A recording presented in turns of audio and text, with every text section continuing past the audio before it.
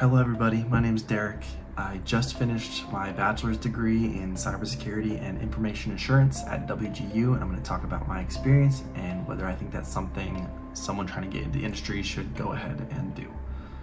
So for starters, um, I already had a bachelor's degree in business administration and finance from a, an online school, Columbia Southern University that I got in about 2018. So when I enrolled at WGU, all the general ed was done. I'd also already had my Security Plus certificate from CompTIA, so that took care of another three courses when I enrolled, which was a nice uh, jump start to the program. All in all, I finished in 17 months, 17 and a half months uh, for the program, and that was with a three month break in between while I was moving. Um, I work a full-time job at night. I have a two-year-old that I'm raising, so I'm very busy. Uh, I work I did a lot of the schoolwork during the day. Uh, my nights off, I spent a lot of time studying. So I have two online schools to compare, and the first thing about WG that I really like is every test is proctored live, either by Examity or Pearson VUE. This means you have to know your stuff. My first school, you could open book it, whatever, you didn't need to know it, do your homework assignments, nothing to it. WGU, you gotta know it. You're getting certifications while you go through the program. Um, you have to study, you have to know it. Uh, speaking of certifications, another thing I liked about WGU is you get a handful of them. So first one I think is ITIL Foundations, which is just kind of an introductory IT certification. I don't see very much use coming from it, but it's part of a class. Um, after that, you have your CompTIA A+, Plus, your Net Plus, your Security Plus, Project Plus, CySA Plus, and towards the end of the program is your Pentest+. Plus. Uh, along with that, you'll also get your SSCP from ISC squared. Uh, you will be an associate, but when you finish the bachelor's, you actually become, you can put the SSCP behind your name. There's also a cloud course for the CCSP by ISC squared.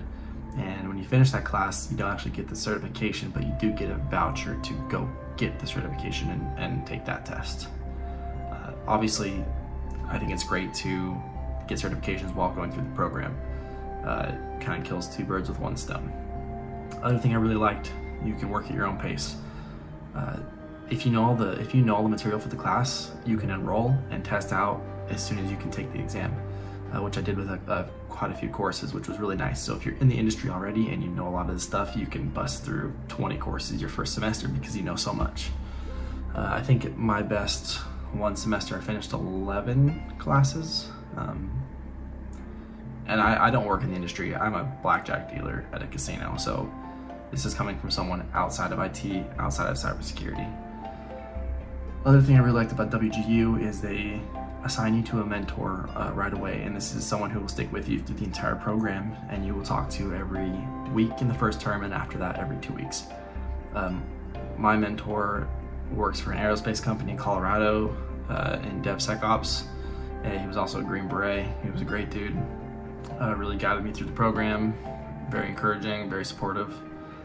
Um, along with that, for each class you have an instructor, and this instructor you can set up video conferences with, emails, phone calls.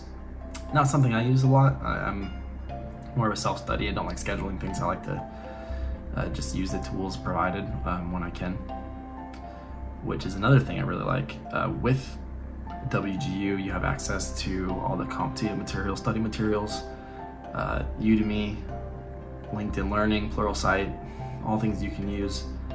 And you can actually use those for the lifetime as an alumni. So for me personally, I love Udemy. I used all Jason Dion's courses for the CompTIA stuff. And as an amateur aspiring uh, solo game dev, I can even access all the, the courses for that. Pretty much anything on Udemy, I can enroll for free for the rest of my life. So that's a huge plus. Um, the cost of the school uh, is about 4800 a semester. It did go up a little bit to that. Uh, I think my first semester was like 4400 uh, My work paid for about 75% of it, which was really nice, and I paid for the rest. Uh, obviously, with today's schools being so expensive and student loans being so predatory and so expensive and, and just life-sucking, I think this is a great, uh, great way to get a bachelor's degree for an affordable price, especially if you're hammering it out. So lots of good things to say about the school there. Uh, the one con that I have about the program, and this is at no fault of WGU, is because it's work at your own pace and you're paying for a flat rate for a semester as many courses as you can do, you are trying to get done with each class as fast as you can. As soon as you know the bare minimum to pass the exam, you're gonna take it and move on to the next course without giving it a second thought. So as soon as I was ready for the A plus, like maybe gonna pass, I'll take the test, boom, pass, move on. So it's more of a sprint than really trying to understand everything and put it into practice. Um, that's that's again not at WGU's fault. That's that's at my own fault. It's my own personality. trying to save as much money as I can, finish as fast as I can uh, to get the degree. So one thing I recommend is while doing the program or aside from the program, you can do it alternatively is to do you do TryHackMe. I did that a lot. The Hack the Box Academy, you get a student discount. Um, I'm doing a lot of those right now. I'm going back, I'm refreshing as I get ready to do interviews and um, look for jobs, which I'm being very picky with because my schedule with my daughter and her mother are very tight. Um, but I'm making sure I know a lot of the pen testing stuff, SOC analyst stuff, and these TryHackMe and hack the box are $10 a month. They're not very much money and they're so valuable. You get virtual machines on there to do all these, these practice uh, examples with. Uh, I'm also focusing on bug bounty stuff with HackerOne and Hacker101's uh, CTFs for practice. I think is another great um, tool to use. Uh, now that I'm done with school, I can take that time and go back. During the program, you feel like you can't take a break because if you take a night, a couple nights off, you feel like you just you're falling behind and you're you're costing yourself money. So, all in all, um, I've never been a huge proponent of school for the most part. Obviously, there's professions where you will want a degree, bachelor's degree, master's degree, PhD. I don't think cybersecurity and IT is one of them, although it does not hurt at all, especially if you have a company that will help pay for it, scholarships, uh, grant money you can access.